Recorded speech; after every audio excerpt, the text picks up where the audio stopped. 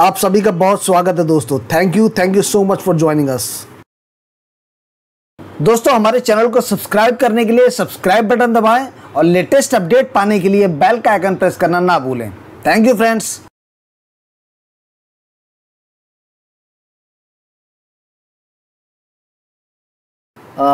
दोस्तों, नमस्कार। Money making shares में जो सीरीज़ हमारी चल रही है, इसमें आज दूसरा स्टॉक के बारे में बात कर रहे हैं। और ये स्टॉक भी अपने आप में बड़ा दिग्गज प्लेयर है मार्केट का। फ़िलहाल मार्केट में कंसोलिडेशन चल रहा है। और जो लेबल्स मैं आज आपके साथ शेयर करने जा रहा हूँ अगर आप उन लेबल्स के आसपास खरीदते हैं तो अगले 24 महीने में ये स्टॉक आपके पैसों को दोगुना कर देगा। 24 महीने का रीज़न दो साल में क्यों आपको बता के चल रहा हूँ? बिकॉज़ अगले छः से सात महीने तो मार्केट ऑलरेडी कंसोलिडेशन मोड में रहने वाला है। मई जून तक मार्केट ऊपर नहीं चढ़ेगा बहुत ज़्यादा। हाँ थोड़ी बहुत रिकवरी आ सकती है बट ट्रेंड रिवर्सल नहीं है। सो so, दो साल का मतलब है कि 18 महीने बचे, क्योंकि छः महीने तो ऑलरेडी यहाँ से यहाँ निकल जाएँगे। ठीक? तो 24 महीने का टारगेट रखिए, मैं आपको लेबिल्स बताऊँगा और लेबिल्स पे आप एड ऑन कीजिएगा, ये दिग्गज प्लेयर है। आने वाला जो फ्यूचर है इस कंपनी का, वो अल्टीमेट है, क्योंकि ये पूरा टर्न अराउंड कर रही है कंपनी इसका अभी तक का जो बिज़नेस था, उस बिज़नेस से बाहर आके अपने आप को एक दूसरे ही बिज़नेस सेगमेंट में इस्टेब्लिश कर रही है। और ये इतना बड़ा प्लेयर है कि ये जब चाहेगा, जो चाहेगा वो कर सकता है। Reason reason Mukesh Ambani. क्योंकि मुकेश अंबानी वो पर्सन है जिसके अंदर वो विजिबिलिटी है कि आने वाला समय क्या है। जी हाँ दोस्तों, हम बात कर रहे हैं रिलायंस इंडस्ट्रीज़ के बारे में। और डिजिटल वर्ल्ड में जिस तरह से रिलायंस इंडस्ट्रीज़ ने टर्न अराउंड किया, जिस तरह से जियो लेकर आए हैं, और आप देखेंगे कि किस तरह से जो प्राइस वॉर है टैरिफ वॉर है, वो चल रहा है जियो के आने के बाद। आप एक समय देखते होंगे जब जियो नहीं था, उस वक्त जो इंटरनेट की फैसिलिटीज़ थी जो कि आपके आ, इतना जी डेटा मिल रहा है इतने रुपीज़ में चार सौ रुपये में पाँच सौ रुपये में एक जी डेटा पाँच सौ एम डेटा वो जो एक टैरिफ वॉर था उसको ऑलमोस्ट एक तरफा कर दिया रिलायंस जियो ने जब से जियो आया है आप थ्री हंड्रेड रुपीज़ में eighty days without any interruption internet use कर सकते हैं। कैसे? धराशाही हो गए बड़े प्लेयर चाहे वो आइडिया हो चाहे वो एयरटेल हो चाहे वो वोडाफोन हो एवरी वन यानी ये सिंगल प्लेयर बचा जियो। और आने वाले सालों में जियो का कंप्यूटर कोई नहीं होगा। डिजिटल वर्ल्ड में अगर हम बात करते हैं स्पेशली इंडिया के अंदर तो ये ग्लोबल लीडर बनने वाला है। और इसीलिए मैं बता रहा हूँ कि ये स्टॉक टर्न अराउंड स्टोरी देखेगा। यहाँ से लेबल्स की हम लोग बात करते हैं। मैं आपको बताता हूँ रिलायंस इंडस्ट्रीज़ में अभी क्या प्राइस चल रहा है? One thousand forty eight rupees का प्राइस चल रहा है। इसका जो बॉटम फॉर्मेशन होने वाला है कहाँ पर आप लोगों को इसमें ख़रीदारी करनी है? वीकली चार्ट पे बात करेंगे। अगर ख़रीदारी की बात करते हैं तो दोस्तों मैं आपको बताऊँगा, ख़रीदारी लगभग ये स्टॉक 860 का लेवल आने वाले महीनों में टच करेगा। 860 का लेवल आने वाले महीनों में टच करेगा रिलायंस इंडस्ट्रीज़ बहुत बड़ी बात नहीं है बिकॉज़ मार्केट में स्टिल पेंडिंग ड्यू है। अगर मैं बात करता हूँ निफ्टी की तो निफ्टी 9950 यानी 9950 is a big big support level in the Nifty और अगर 9950 टूटा निफ्टी में तो डेफिनेटली निफ्टी 9000 का लेवल भी टच करेगा आने वाले महीनों में। और ये सब कुछ जो होगा, वो प्री इलेक्शन हो जाएगा। यानी कि प्री इलेक्शन मई से पहले पहले ये सब कुछ होने वाला है। यानी कि जो भी बड़ा फाल, जो भी कंसोलिडेशन है, वो सब मई 2019 से पहले हो जाएगा, क्योंकि उसके बाद जो जनरल इलेक्शन है, वो डिसाइड करेगा मार्केट की नई चाल। और ये सभी ट्रिगर्स होते हैं। अगर आप बात करते हैं लीमन ब्रदर्स की 2008 के क्रैश में तो Lehman brother issue was just a trigger for the consolidation but already पहले से ही डिसाइडेड था कि मार्केट में एक बड़ा कंसोलिडेशन आएगा। क्योंकि अगर हम बात करते हैं अक्टूबर, नवंबर, दिसंबर 2007 की तो उस वक्त निफ्टी अपने हाईएस्ट पी पे चल रहा था 26, 27, 28 के पी पे। ओके और अगर हम बात करते हैं 2018 की तो निफ्टी अभी कुछ दिनों पहले या कुछ महीनों पहले बात करते हैं अपने हाईएस्ट पी पे चल रहा था अप्रॉक्सीमेटली 28 पे। 27 तक पहुँचा वहाँ तक नीचे कंसोलिडेशन अभी निफ्टी फ़िलहाल एट प्रेजेंट 24.95 का पी इंडिकेट कर रहा है। स्टिल जो अगर मैं ऑन एन एवरेज बात करूँ पिछले 10 साल की तो मैं आपको एक शीट दिखाना चाहूँगा जस्ट अ मोमेंट यहाँ पर हम लोग बात करेंगे। एक शीट हम आपको दिखाएँगे ज़रूर। Nifty fifty. Nifty P 2014 okay and let's just a moment give me a moment please Nifty fifty. Nifty fifty P this one ये आप देख रहे होंगे 2004, 5, 6, 7, 8, 9, 10, 11, 12, 13, 14, 15, 16, 17, 18 2004 से लेकर 2018 2004 मैंने क्यों चूज़ किया? बिकॉज़ 2004 तक एनडीए की गवर्नमेंट थी। और अब 2018 में भी एनडीए की गवर्नमेंट है। तो 2004 से 2018 का हमने लेवल चूज़ किया। 2004 में जो पीई e था निफ्टी का वो 16.31 ऑन एवरेज 12 मंथ का जो हमने एवरेज पीई e निकाला वो 16.31 था। एवरेज पीवी यानी कि प्राइस टू बुक था 3.33 था। डिविडेंड यील्ड जो था 2.05 यानी कि डिविडेंड यील्ड ऊँची थी, बड़ी ज़्यादा थी। फिर 2005 में 14.81 और अच्छा पी आ गया इसका, और कंसोलिडेशन आ गया। फिर P V ratio three point eight five and dividend two thousand six में P and V four point seven three. Two thousand seven में twenty one point three four, five point seven. Twenty eight में eighteen point six nine, four point two five. Two thousand nine में eighteen point seven one P था, P V था three point two three. Two thousand ten में, आप देखेंगे to thousand eight में eighteen point six nine आ गया। और सेवन में सबसे ज़्यादा था, एवरेज मैं बता रहा हूँ आपको। ऑन एन एवरेज अगर बात करें 12 महीने का पीई अगर हम बात करते हैं 2017 सेवन का तो 2007 में 12 मंथ का average PE 21.3 just a moment मैं आपको यहाँ दिखाता हूँ। ये। एवरेज पी था 2017 सेवन का सॉरी 2007 का जो एवरेज पी रेशो था 12 महीने का 12 मंथ का 21.34 था। और जो पीवी रेशो था वो हाईएस्ट था एवर 2004 से 2018 तक 5.4 का पीवी रेशो हाईएस्ट था। यानी कि ये दोनों ही ट्रिगर इंडिकेट कर रहे थे। अगर हम पास्ट रिकॉर्ड को देखते हैं कि भैया यहाँ से एक करेक्शन आना चाहिए, और 2008 में एक अच्छा करेक्शन आया और नाइन में भी अच्छा खासा करेक्शन रहा और दोनों ही साल में जो एवरेज पी रेशो रहा 18.69 और 18.71 रहा।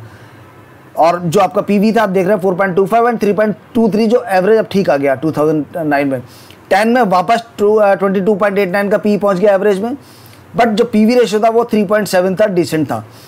11 में 19.8 आ गया कंसोलिडेशन हो गया, फिर 3.29 12 में 8.18.05 13 में 17.17 14 में 19.90 यानी कि जब एनडीए गवर्नमेंट आई 2014 में तो 19.9 का एक ओके, परफेक्ट अगर मैं बात करता हूँ, पी रेशो था और परफेक्ट पी वी रेशो था। दोनों ही अच्छे थे 19.9 एंड 3.32 उसके बाद अगले चार साल, पंद्रह में बाईस पॉइंट चार तीन twenty two point four three सोलह में twenty one point nine four, सत्रह में twenty four point seven three on an average P था।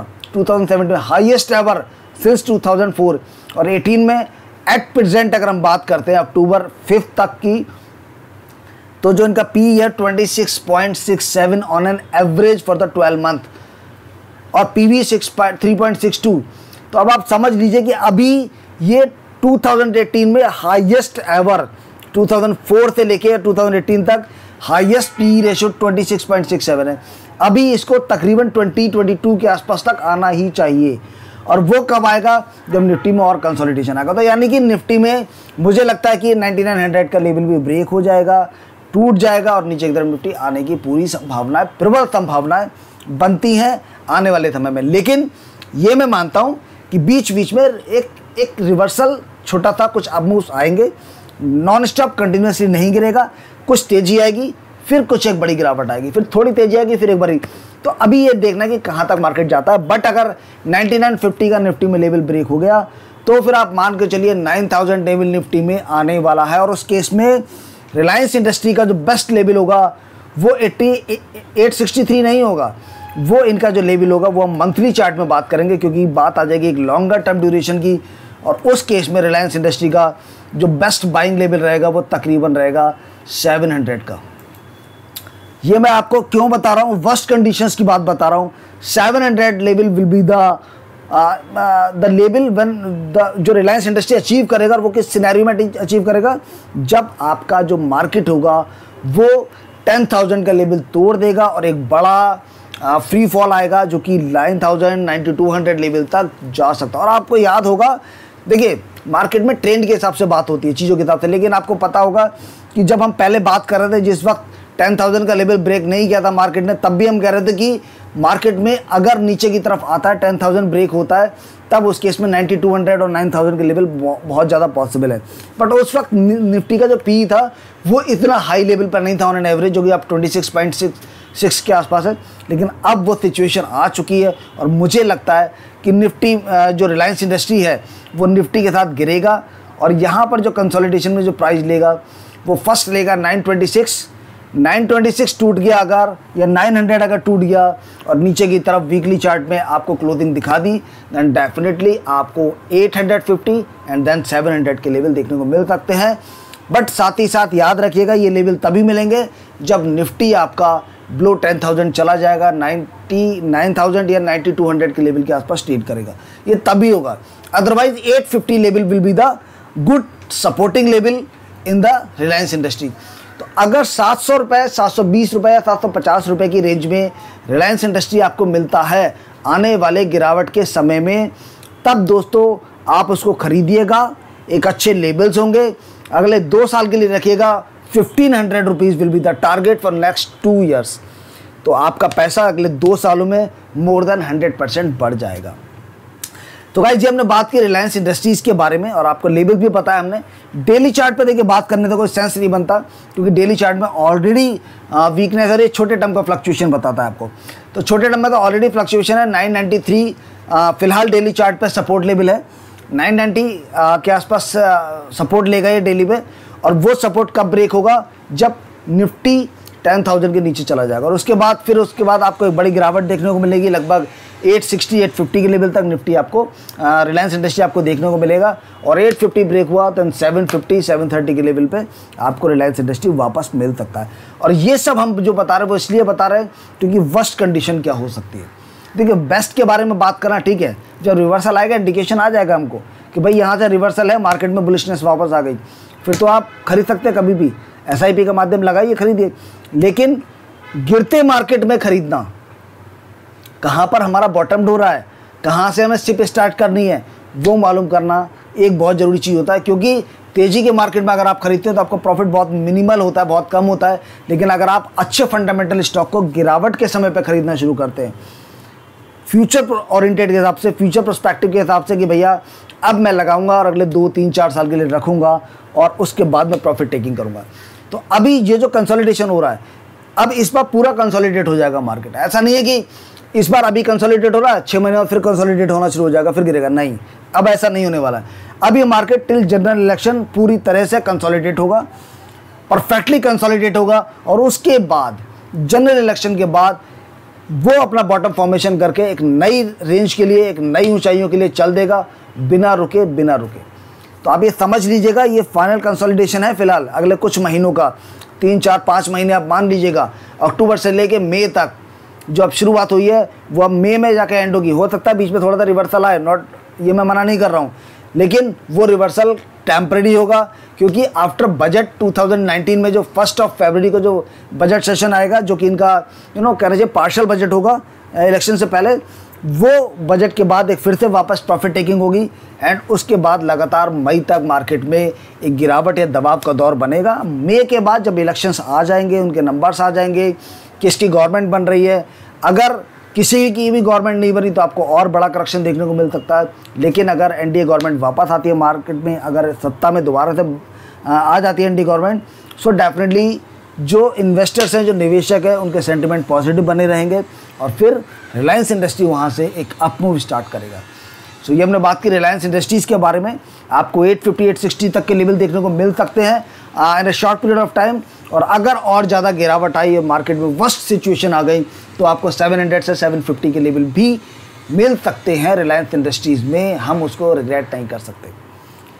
सो गाइज़ गेट रेडी और ये सभी वो स्टॉक्स हम आपको शेयर कर रहे हैं जिनमें अगर आप निवेश को प्रारंभ करेंगे सही समय पे तो आप जो भी नुकसान मार्केट में बीते दिनों में हुआ है, वो सभी नुकसान ये स्टॉक्स आपके बहुत ही शॉर्ट पीरियड ऑफ़ टाइम में रिकवर करने की क्षमता रखते हैं और करके दिखाएँगे खैर, इस वीडियो में इतनी ही बात करेंगे हम लोग। अगले वीडियो में हम लोग फिर एक और ज़बरदस्त फंडामेंटल स्टॉक के बारे में बात करेंगे।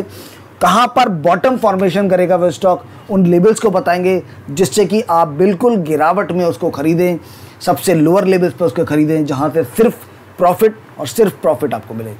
सो गाइस देखते रहिए हमारा चैनल मनी जुड़े रहिए हमारे साथ लेवल्स को जानने के लिए। और उन लेवल्स के साथ खेलिएगा मत, जल्दीबाजी मत कीजिएगा, कभी भी बल्क में बाइंग इस समय मत कीजिएगा।